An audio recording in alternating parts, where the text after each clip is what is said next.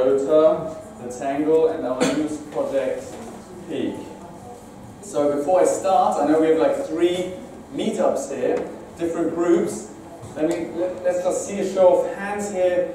Who would say they have a reasonable, reasonably good understanding of what distributed ledger technology is? Or blockchain technology. Who understands blockchain technology? Okay, it's, I would say it's around 30%. So I'll definitely do a little bit of explaining while I go through this stuff. So let me start by introducing myself. My name is Mike Geike. I'm the CEO of Advanced Blockchain AG. I'm 34 years old and I'm a mathematician.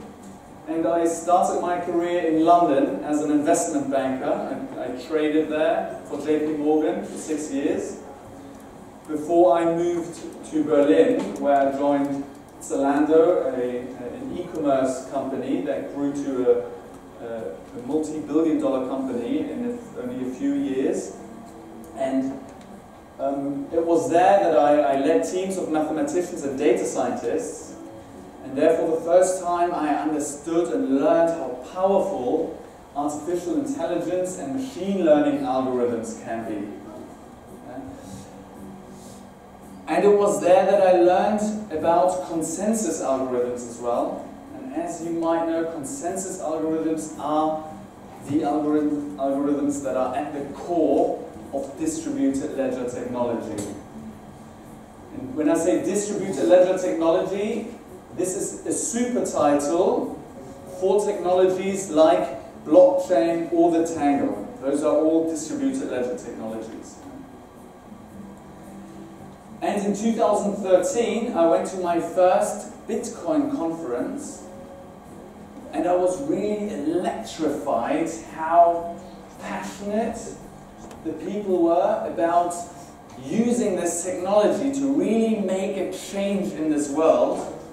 And I immediately saw the room, it was, it was not like today, it was really only a small crowd of people, but it was only the smartest people that I met in a room, and I knew immediately there's something to this technology. And since then, we've been working in the field and uh, with projects that, that I will talk about. So, our companies, there's Advanced Blockchain Energy and there's nakamo.to. They have a very strong partnership. And together we do projects like the peaq platform that I will talk about later. So Advanced Blockchain AG is a publicly listed company. So you can trade and buy shares on the Düsseldorf Stock Exchange in Germany. And we put this company in place to be the connector to the real world economy. To have a company that speaks to the corporate world and understands their language and can also take, be a gateway for investment into this great technology.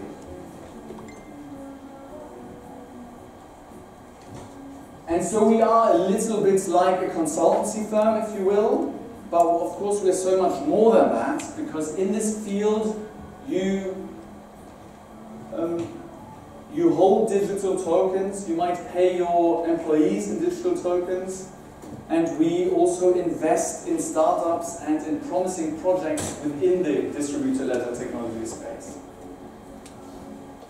And then there's nakamo.to, who are really the technology brain, if you will. They are the ones that are really connected to the community. They're the ones that organize meetups, just like this one, and are very connected to the crypto scene. And so, like I said, there's a strong partnership between these two companies, and this will most likely going forward grow even stronger without uh, going into too much detail. And so, let's get into the topic. DLT, distributed ledger technology, has so many parallels with the internet of the 90s. back in the 90s, people were made aware of the internet by its simplest, most simple application, which is the email. All of a sudden, people understood okay, wow, I can send an email around the world in seconds. And they were asking the same questions that people ask today about blockchain technology.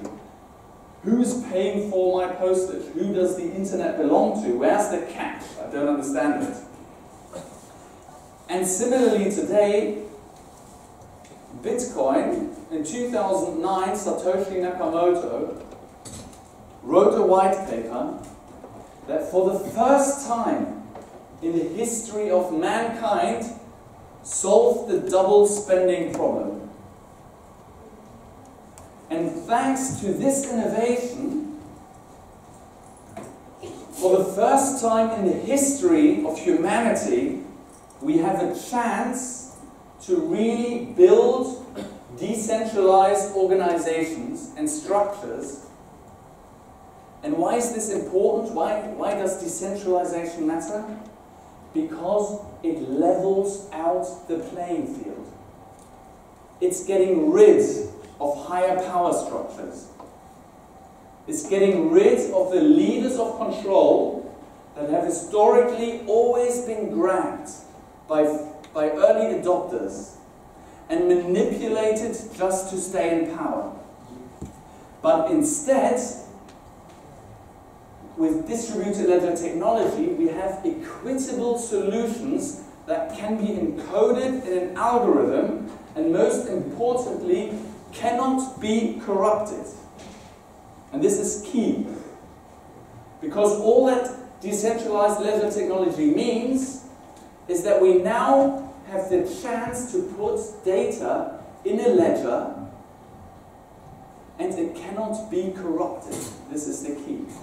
In a centralized system, you know the cloud, you can upload data, but you always have to trust a third party with that data and so it can be tampered with and it's, it's vulnerable to attack. So this makes this technology so powerful. So just Bitcoin is just the simplest use case and application of this technology, just like email was in the 90s.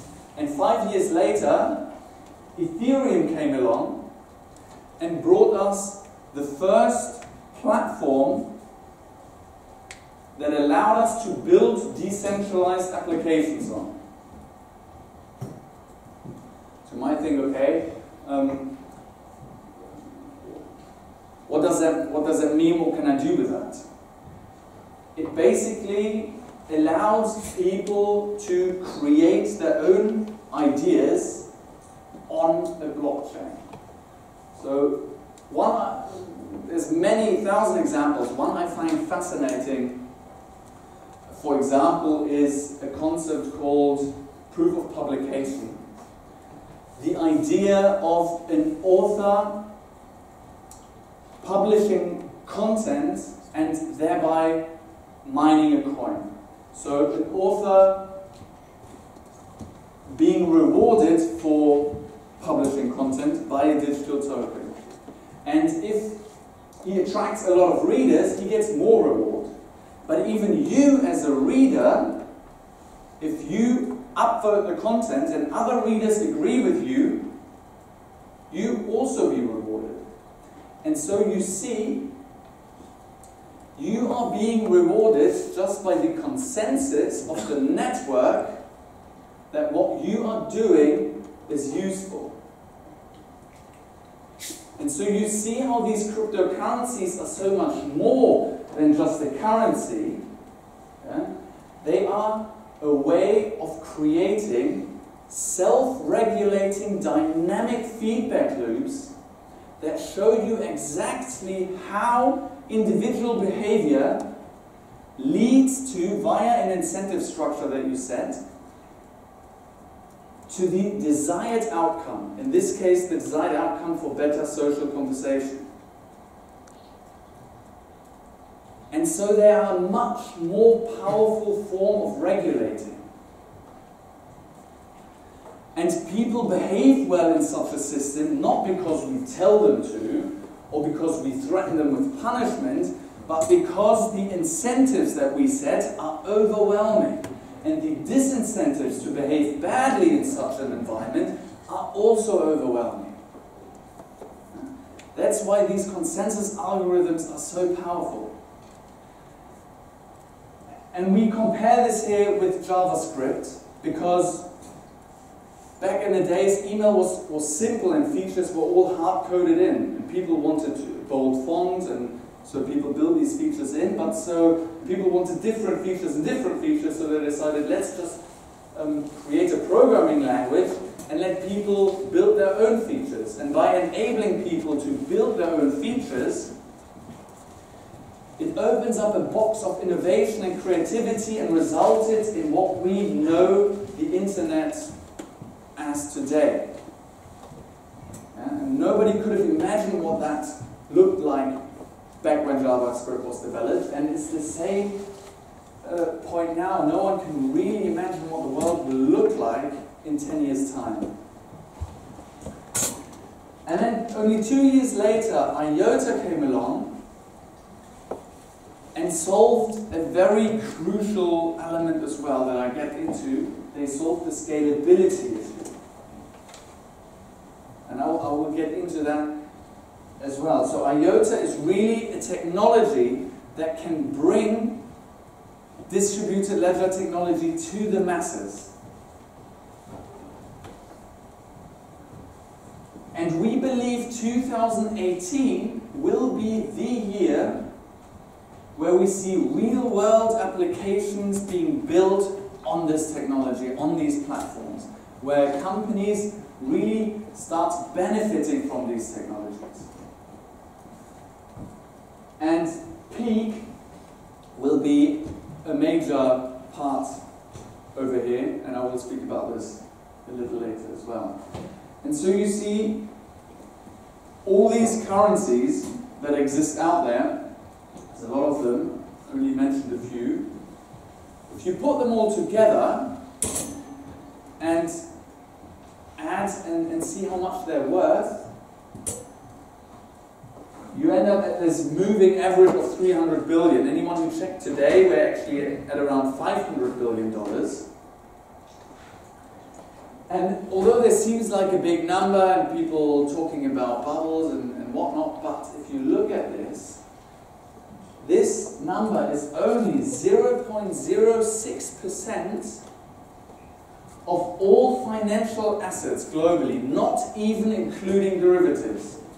So it's a negligible amount compared to all financial assets. It's really only this tiny splinter here in this huge ocean of possibilities.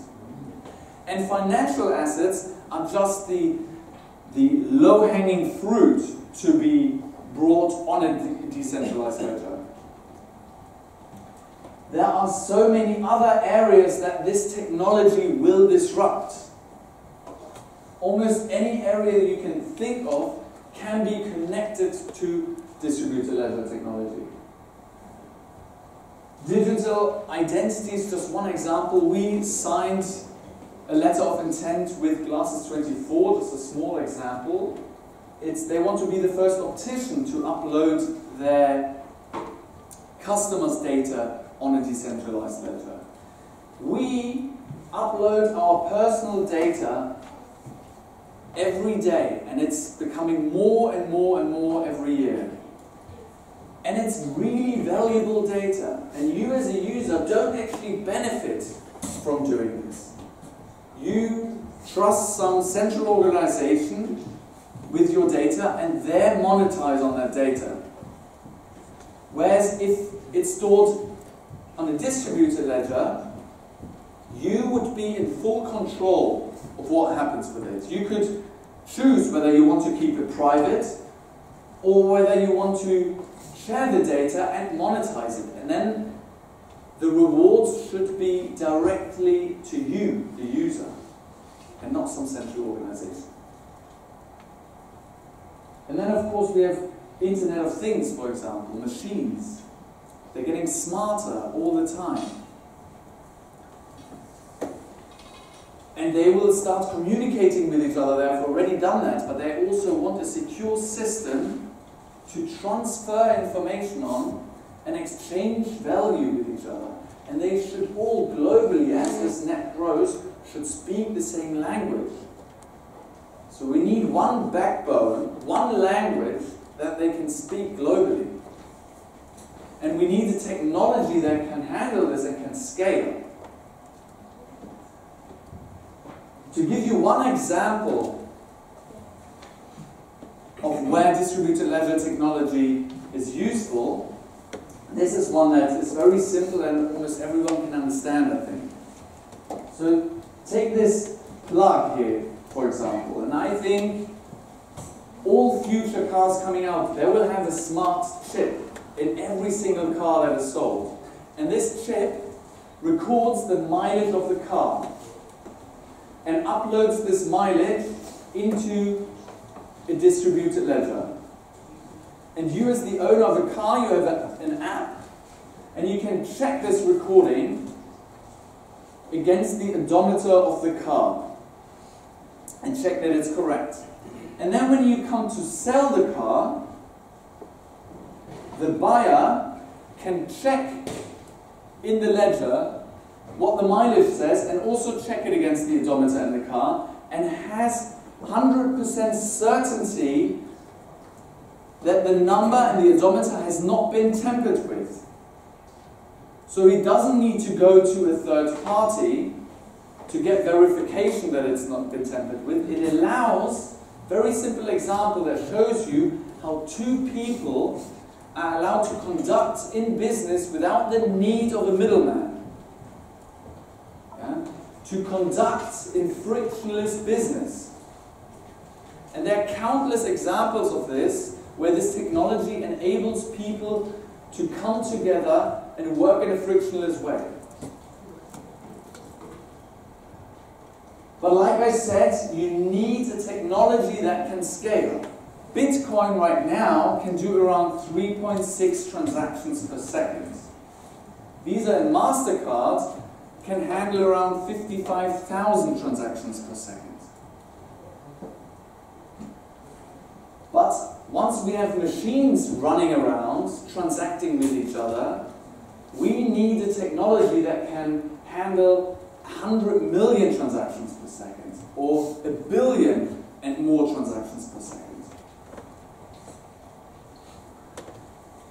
Now, Ethereum, that you probably all know, is a bit more efficient than Bitcoin. You can handle around 20 transactions per second, but you can also see here, as transactions increase, which you want to happen on your platform, you want more users, if the fees increase as well, you run into problems.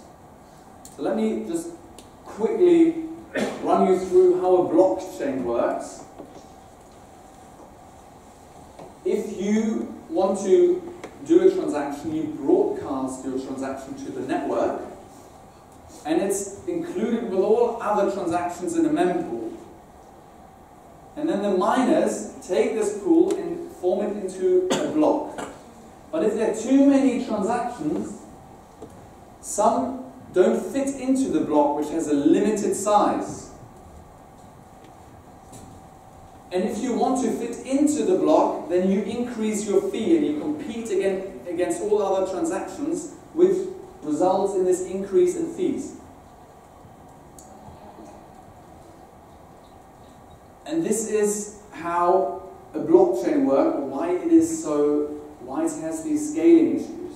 And don't get me wrong, I think that the blockchain technology is, is great and it definitely has its place in the crypto space. Like Bitcoin is a very secure ledger and it works as a store of value, but it's not going to be the technology that is that will be brought to the masses quickly.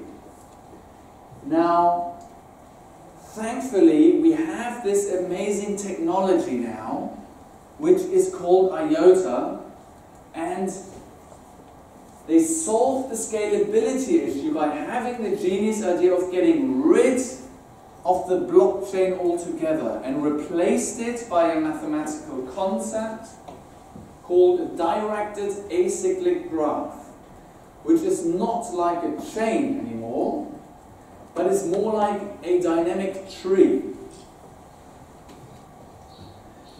And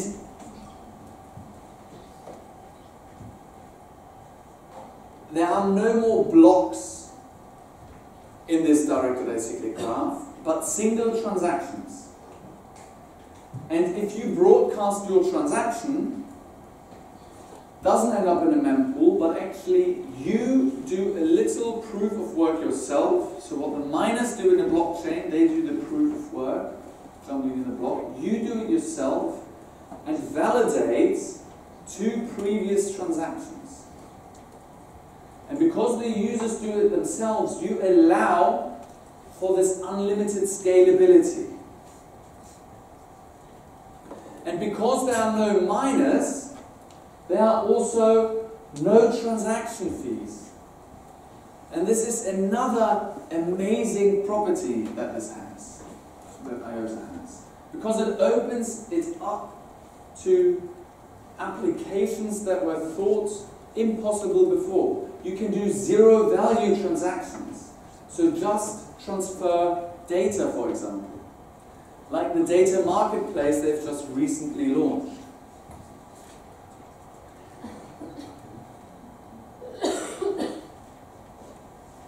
And so you can also do offline transactions. And it's theoretically quantum proof. Of course, this cannot be tested because there are no quantum computers, but theoretically it looks very sound. So IOTA, by having this setup, IOTA has the properties that the more transactions come online, contrary to a blockchain, which gets slower and more expensive, the Tangle network gets faster, more stable, and more secure. And those are amazing properties for a distributed ledger technology. Those are exactly the properties that you need to have when you want to bring this technology to the masses. Which brings us to the next point, that I, and the last point that I want to talk about, which is our current project that we do, which is called the peaq platform. peaq stands for Peak Technology. And like I said, you want as many users as you can get on the Tangle because it makes it stronger, more stable and more secure. And how do you get as many users as possible very quickly onto your platform? It is by creating a second layer on top of the Tangle that allows you to tokenize any of your ideas, any of your assets. So those of you that are familiar with Ethereum, they will straight away realize it is a bit similar to the ERC20 standard of Ethereum. And the ERC20 standard of Ethereum also allows you to create tokens. It's the platform that we've seen all the recent ICOs come through. But peaq will be very different in respect that it's built on top of the Tangle. And this means that the coins and the tokens that you create through the peaq platform automatically inherit the same properties that the IOTA token has. And that means unlimited scalability, no transaction fees, no miners, you can do offline transactions and be quantum proof. Robert, yeah, Robert says this is what we're aiming for, of course.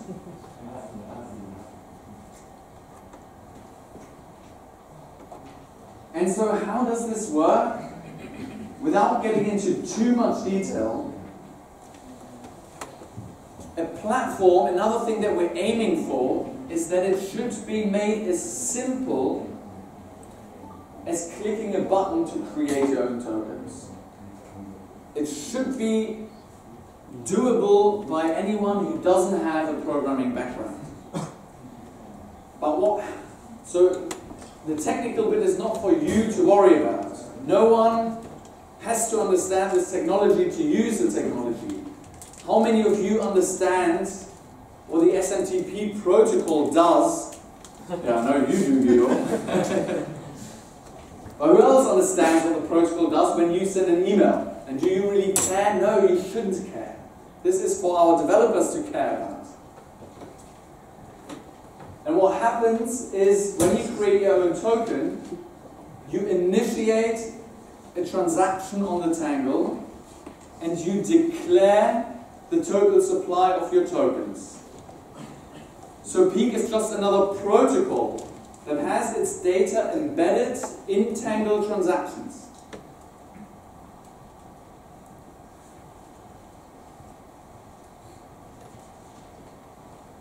And there are no smart contracts yet on the Tangle.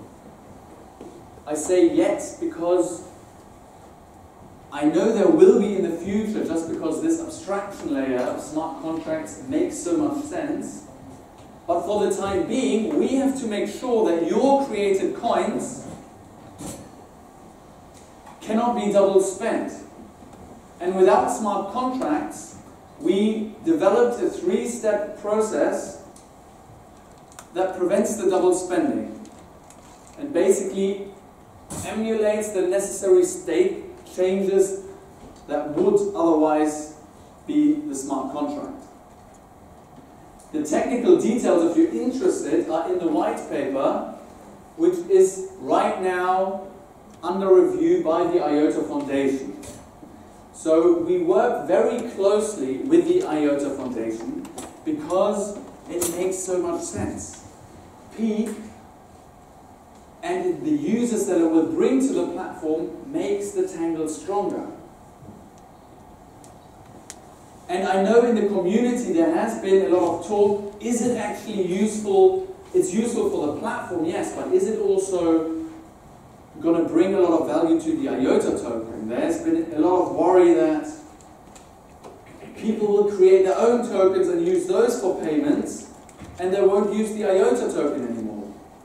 Well, let me tell you that yes, you're right, people will do that. They will create their own token and use it in their own little closed loop ecosystems. And they will create their own assets that will, that, that will trade and interact with and only use their tokens that represent these assets in their closed loop. But you have lots of these hubs, and once they want to talk to each other, they will have this one currency that everyone on this network accepts, and that's the IOTA token. It will always be the standard coin that everyone in this whole ecosystem will accept. And that's why it will, of course, bring so much value to the IOTA token. I'm 100% sure about it.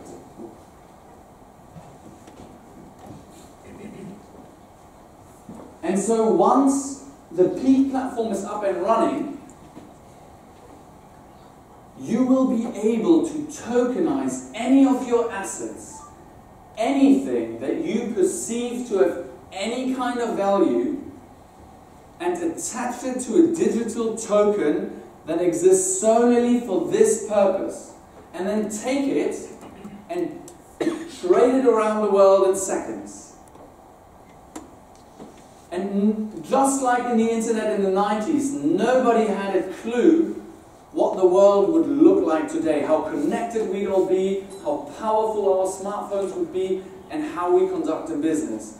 And this technology will be even more disruptive and move even faster than the internet has done. Because now we can transact securely anything that has any value in a frictionless way. And I'm so excited to be part of this with Advanced Blockchain AG and with nakamo.to. So come and join us and be a part of it as well. Thank you very much.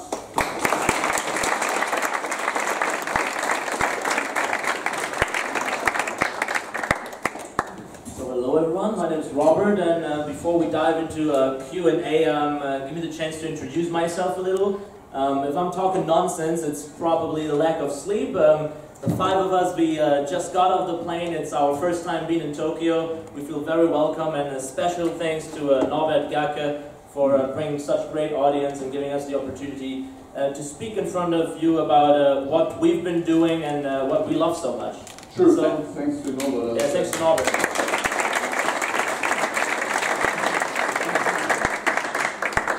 So, um, my name is Robert Kuefner. I'm the founder of nakamo.to. We're a distributed ledger technology company based in Berlin, which um, I think is the crypto hub on planet Earth. So, um, we've been traveling around a little, and um, um, it's not the Valley, it's not uh, in East Asia, it's, it's Berlin when it comes to knowledge towards this new disruptive technology. And um, for me, it all began in 2010. Started off as a Bitcoin miner, went through all three generations of like CPU, GPU, the ASIC chip revolution, and then been uh, quite active in the uh, Ethereum world for two, two and a half years. Until earlier this year, it was um, April when I met Dominik Schiener, who's um, the founder um, of the IOTA network, together with Dom, uh, together with um, David Sønstebø and I ran into um, yeah my my uh, partner Florian who who just um, arrived here um, from Berlin as well, and I got tangleized the same day. Because um, Bitcoin and Ethereum and blockchain technology as we know it is a fantastic application of distributed ledger technology, and uh, it worked wonderful and wonders in the past couple of years, and we learned a lot. But this year, with the IOTA protocol, this entire space has seriously the chance to totally take off and have a real impact on real world application and use cases that have never been able to perform before. And that's why we're so fascinated about it. And I mean, we've, we've been talking about Advanced Blockchain uh, AG and nakamo.to and our peaq project, but I also understand myself as a big IOTA evangelist because I truly believe in the underlying technology and that it's here to stay and that it is um, the next big thing in, in the tech space because it will disrupt and reshape several industries in a way that we haven't seen before. And um, yeah, like I'm, I'm super happy for um, all your questions with a strong focus towards IOTA and um, uh, our peaq project, which we'd really uh, like to talk about more with you uh, in the next uh, 45 minutes. So thanks for having us.